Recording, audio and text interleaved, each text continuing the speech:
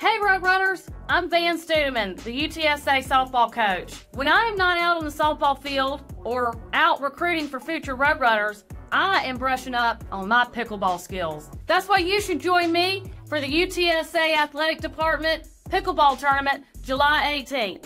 It's for a great cause. It supports our Title IX Opportunity Fund. It supports our student athletes, our programs, and all student athletes here at UTSA.